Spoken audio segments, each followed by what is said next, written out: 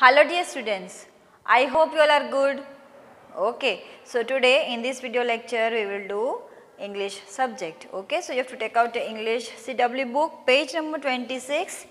There you can see answer the following. Yes, question answers. Okay, आज हम question answers करेंगे but only this one page 1, 2 and 3. Okay, so let us do. You have to also do with me. So first is answer the following. First one is who goes, G-O-E-S goes to the zoo and then question mark. तो जू में कौन गया था which girl girl का name क्या था Rani yes so right there Rani R A N I Rani okay return okay now second which animals does rani see in the zoo in the zoo okay again i am reading which animals does rani see in the zoo rani ने zoo में कौन से animals देखे थे giraffe elephants tigers monkeys है ना चलिए So let us write. So first one you will write number one आप ऐसे नंबर वन करेंगे और यहाँ पे लिखेंगे giraffe G I R A double F E giraffe. Okay then थोड़ी स्पेस लीव करके यहाँ पे नंबर टू लिखेंगे आप।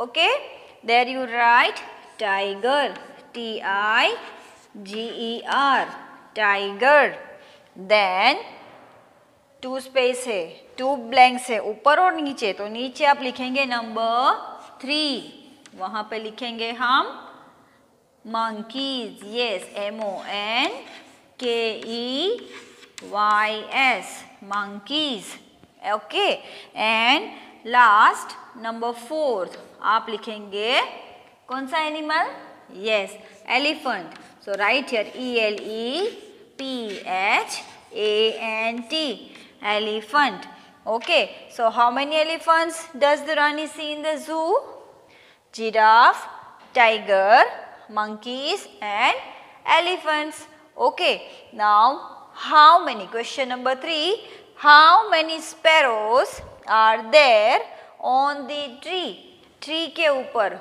कितनी sparrows थी we have done that rhyme no Five little sparrows high on a tree. Right? So, how many sparrows were there? Yes, five sparrows. Okay. So, let us write here five sparrows. F I V E पहले five का spelling आपको लिखना है फिर ये sparrow का जो spelling है यहाँ पे आपको लिखना है S P A double R O W S sparrows okay so there were five sparrows on the tree. Okay so this question answer you have to write in your cw book and hw book. And please revise this question answers. So students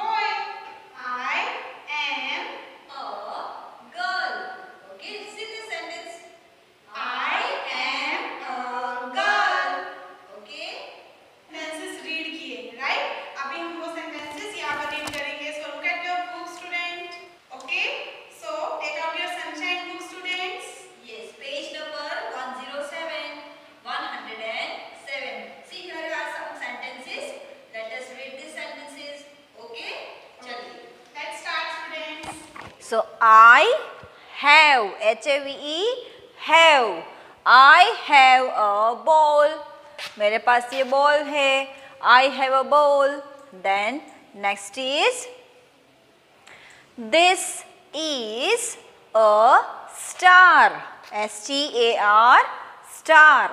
This is a star. This is my cap. This is my cap, मेरी cap है। This is a dog this is a dog I have a cat H A V have okay so I have a cat